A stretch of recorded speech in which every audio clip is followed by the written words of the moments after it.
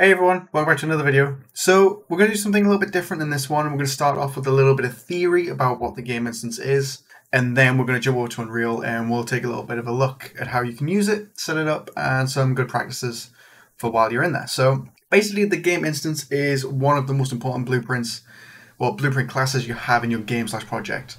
Uh, essentially the game instance in UE4 and UE5 is what's called a manager class. Basically, it has the ability to manage data between levels as it's not destroyed when changing levels in your project, unlike every other blueprint. So, in Unreal, when you start a new level, your variables in your player and all that is reset to, to their default values. But the game instance exists between that gap. So it exists in the background and then it can be used to set information in the player once they're created. For example, without a game instance, changing levels will reset all variables to their default, which is what I just said like your player's health, money, score, etc. Uh, it's including weapons, unlocks, you name it, it'll all be reset. However, storing your variables inside your game instance allows you to store these variables, redistribute them when the level begins. So this means you can use it to store data that your game might need. For example, player health, which is a float value, score, which is an integer, ammo integer, weapons unlocked actor arrays, collectibles found actor arrays, and then every variable that you need access to periodically or over the lifetime of your project can be created inside of this game instance. So don't worry about thinking, what don't I need? If you've got a variable and it has to exist between levels somewhere, it needs to be inside your game instance. So the easiest way to think of the game instance is more like a hub, a location which gathers all the information you need while playing and all the information which is needed once the game starts. So this allows for multiple things to be possible. For example, blueprints can read information from the game instance at runtime, and they can even set information. So let's say you have a game where a level has multiple crates in the world, and you want them to stay open after you after they've been looted essentially. You could assign each crate a number. This is just off the top of my head, and store it in an integer variable or an array. So if the chest is opened, you send that number to an integer array, in the game instance, let's say the variable is called chest opened. Now, when the chest is interacted with, we add the numbers of the chest to the game instance array. Then, when the level starts, you can get the array, compare all the numbers in said array against the number assigned to the chest, and have the chest perform an action. So, if you've got a chest in the world, you give it a number, you send that number to the game instance once it opened, and then once the level restarts, the chest looks to the game instance, says, Are we in this array? If we are, then we've already been looted, so set it to open and then do what it needs to do. So it means you don't have to destroy it in the world, you can kind of repurpose stuff and do different things. So separately, you could have a chest store the actor itself into an array in the game instance. Then once the game instance is initialized, you could have it call a binded event in the chest to make it do something. This would stop every chest doing a check of an array and only chests will have been opened would actually be called. So it's a bit of a performance thing, kind of depends how you want to set it up, but just keep that in mind. You could also store information like damage multipliers so enemy AI can access the multiplier and have it affect the level when it begins. Really any information at all, no matter how it's used, if it needs to move between levels, can exist in the game instance. So key piece of information is none of this has to happen at the beginning of the level either. You can push and pull data at the game instance at any point in time during the level or during gameplay. So it's important to note as long as the game isn't closed, then the information set in the game instance won't be reset. And then this brings us on to saving game instance data between games.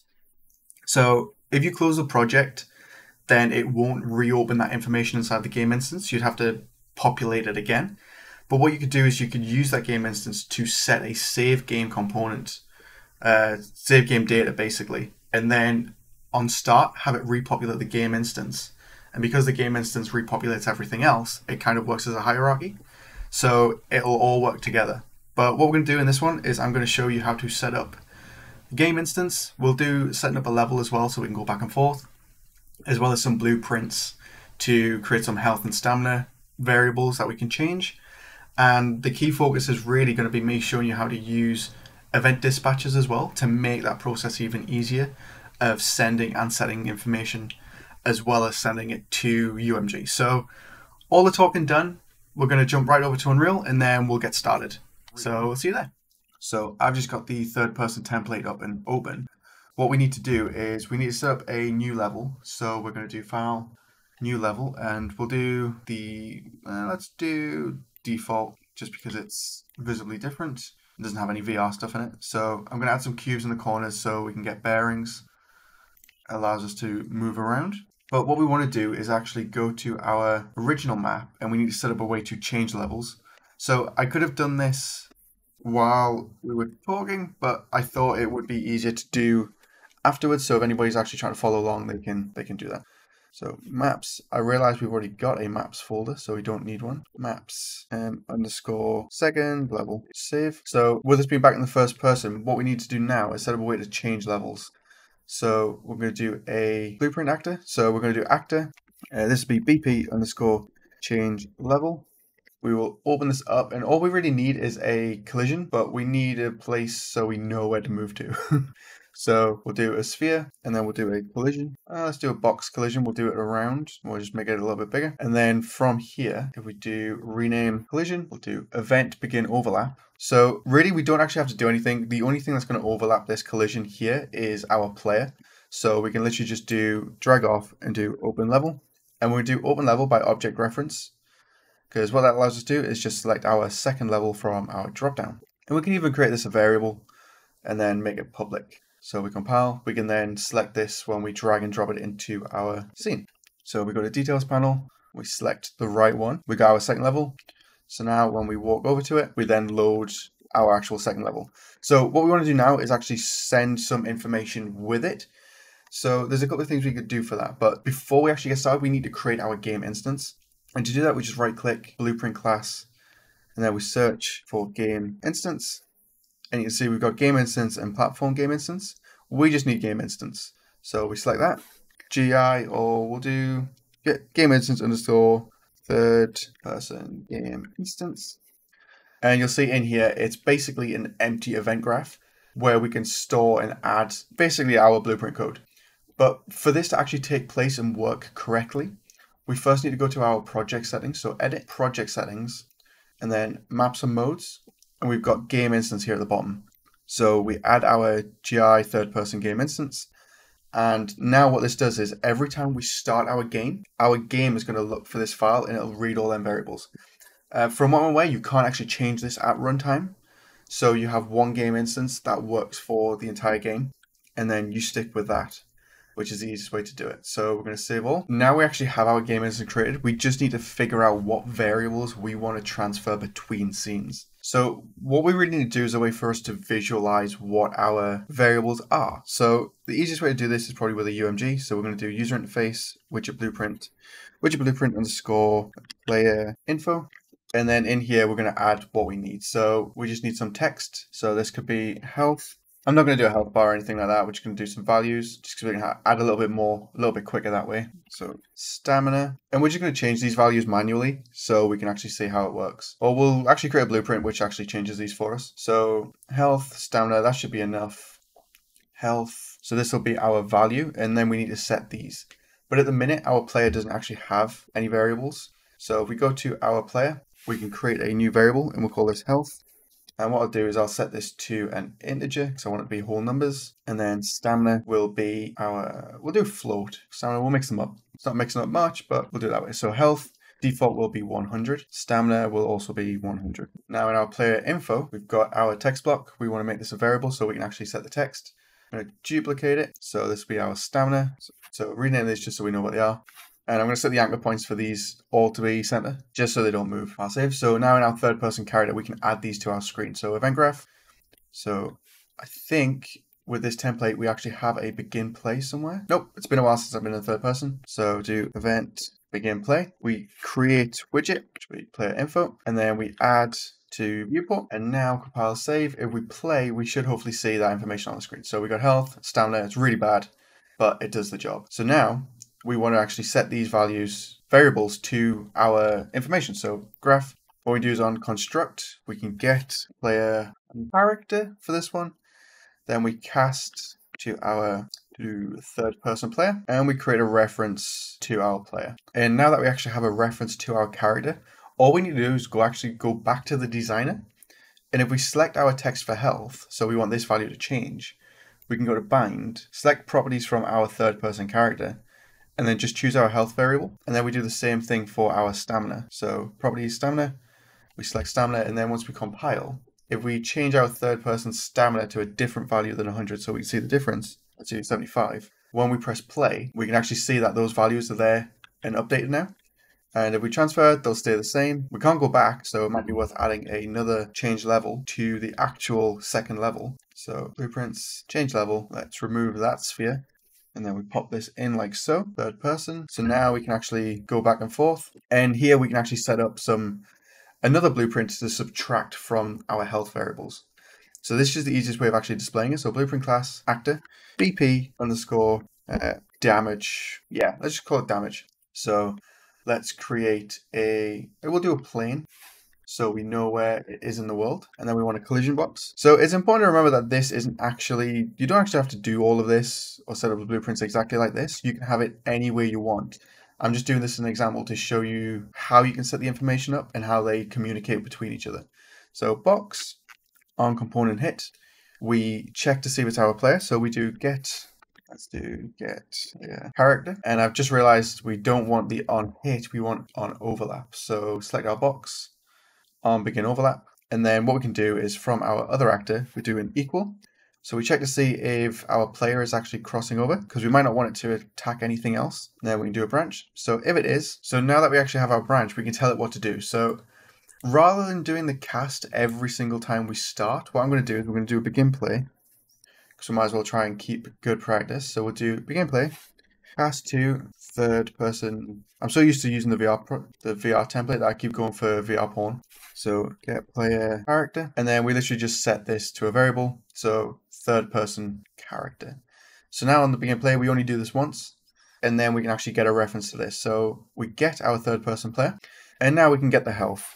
So we're going to start by getting the health, which we then subtract from our int, and we'll subtract 10. And then we set our health again. So set health, pop that back in there. So if our player is the one that's overlapping the collision, we say it's true. We then get our player reference from our original begin play and then we can get our health value and then subtract 10 from it. So this will update our new health variable. And you might be wondering why we don't actually need to put an event on this to set the information. Well, the thing is with a bind inside of our player info is it automatically actually updates. It works as like a typical function. So anytime the variable is changed, this value will update.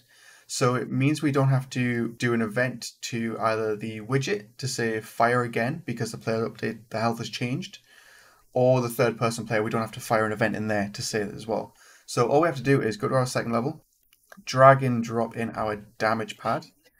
If I disable snapping, it's always the wrong one every time I do it. So now we can press play we can change our health variable. And if we can say after the disable message stuff, pretty difficult. Let's change our location and we'll set the color to black. We can then go over it and we can change our health variable. And now, because we've got it set up in such a way, if we go to the other level, it resets. That's specifically because we haven't set up in our game instance that we want to get that information from the player. So what we do is our third person character. Now we need to actually set up our game instance so we store the information. So first thing we do is actually cast to our game instance. So we've got a reference to it. And our game instance is gi underscore third person game instance. And we're going to add that after our event begin play. Actually, we'll do it beforehand. It would be a bit easier to do.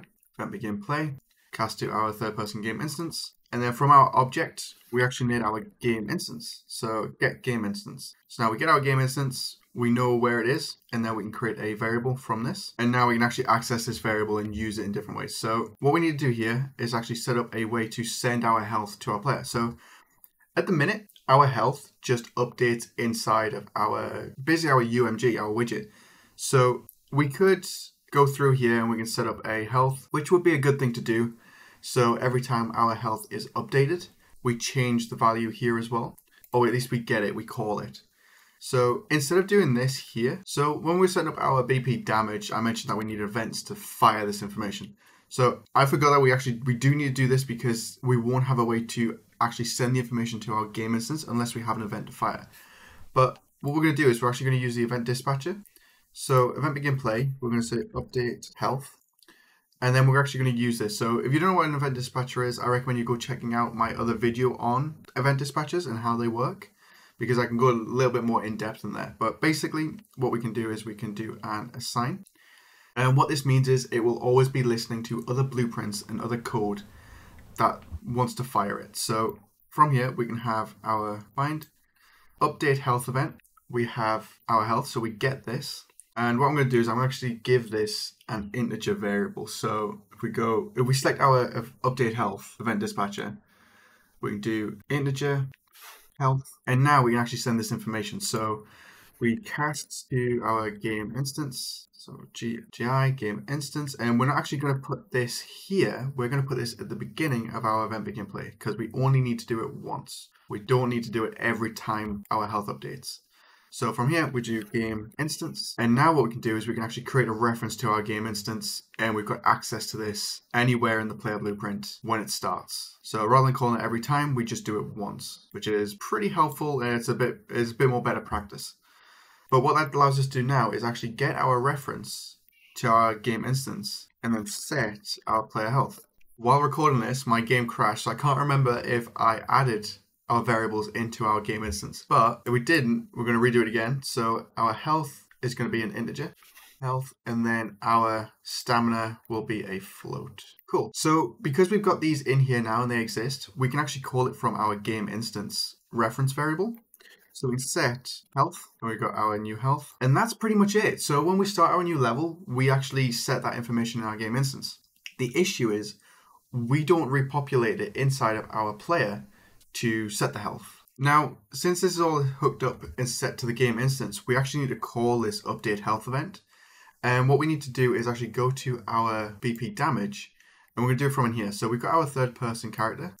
So we search health and you'll see that we actually have our binds. All we're going to do is going to call update, going to connect to the end, and then we're going to hook up our set. So when it goes through, it sets our health, but it also updates our variable inside of our player right here. So ideally, once we cross over our plate, it fires the, it subtracts the health, then it sends it here so we can set it and we got access to it.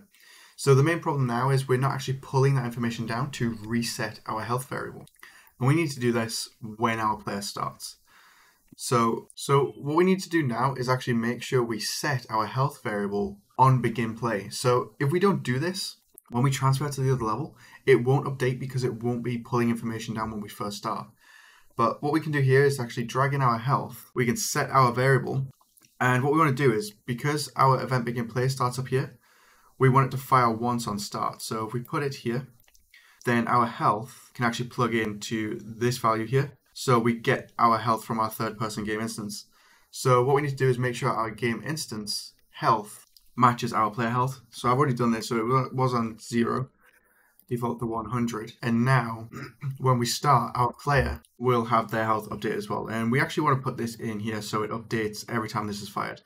And because we're using event dispatchers, it means it's really easy to do in our game instance. So we can do initialize. My computer is messing up, so I'm going to be right back. I'm going to restart real quick. So I'm back. I've only got the third person character window open in the third person game instance now. So what we're doing is we're setting up our game instance. So the information here sets the information in our game instance. The issue is it doesn't pull it back down, apart from this set health, which gets our health from our game instance and then populates it in. So what we want to do is we want to go to our game instance and we could do initialize or we could do our custom event. I'm actually going to do initialize. So there's an event in it. So once it's created, it actually populates that data for us. The only thing we need to do is add a little bit of a delay to let the other blueprints load in in time. You're probably best use an actual custom event to fire this, but I don't think begin play uh, exists. Nope. So we got this. What we want to do is we want to cast to our player. So anywhere we're setting information, we want to send that information to, we need a reference. So we're going to cast to third person player or character, and then we want to get character. So there it is, get player character. And now we actually have a reference to our player, which we can store, hit compile. And now what we need to do is actually update our information in our player. So if you remember, we've got our update health. This updates our variable for us. So we just need to call this. We don't need to do any custom events or set anything up like that. With this, you just need to call update health event. So we drag off here, update. So health. So we got call update health. And you can see here we got a value we can put in. We're just going to drag in our health, get health, and plug that in there as well. So compile save. And now we test it. We should be able to go to our other level, use our health pad to reduce our health. And then we test it and we go back.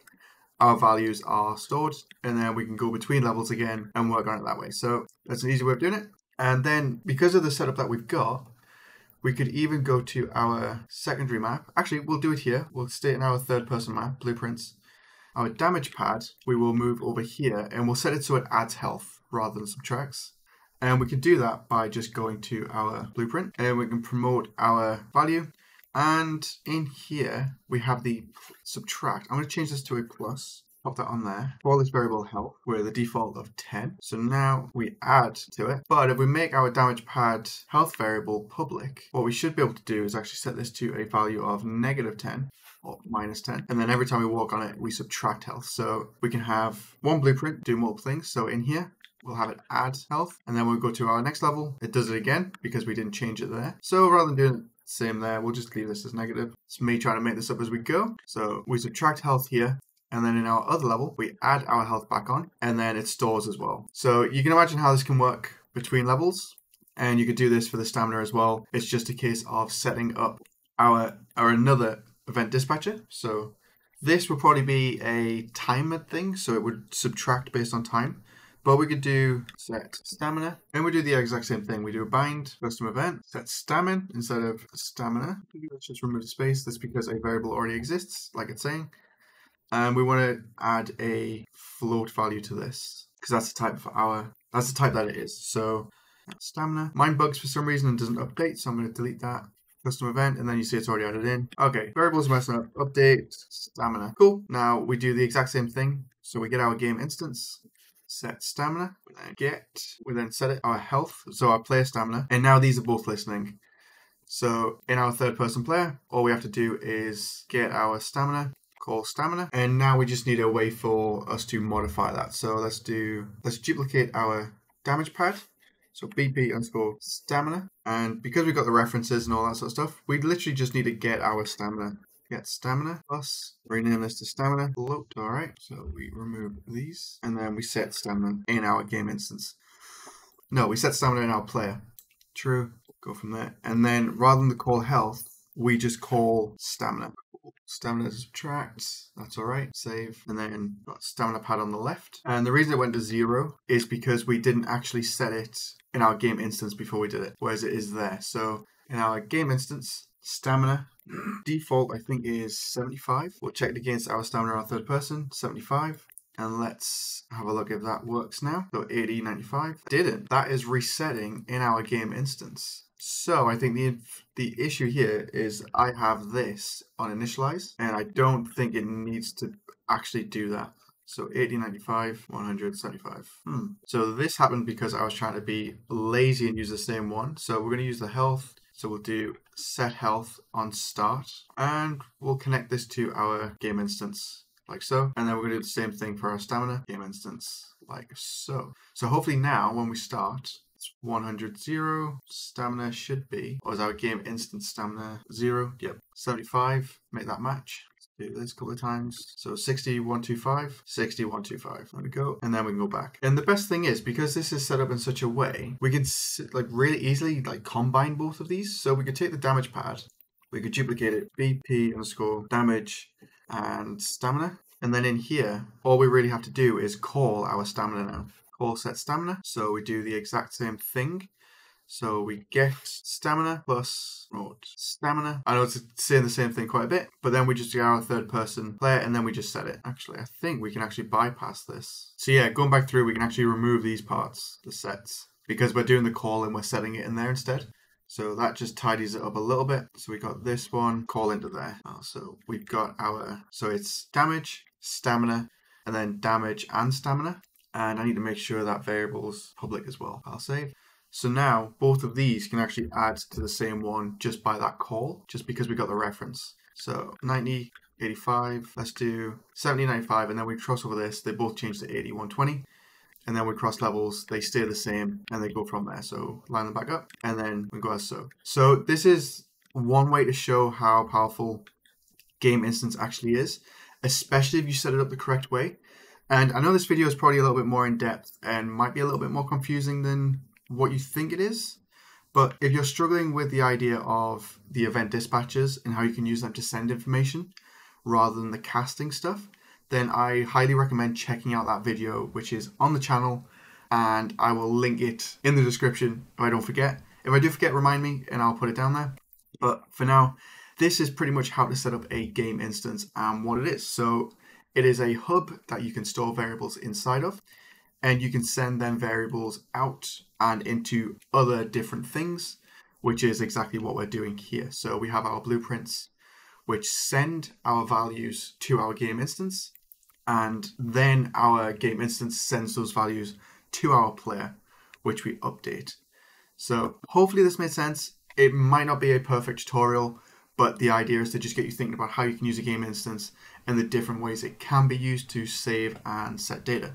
And that brings me on to the final topic of this. What a game instance allows you to do is actually save the data. So when you close Unreal Engine or you close your game, the game instance is reset then. But what you can do is inside the game instance, you can actually create a save file.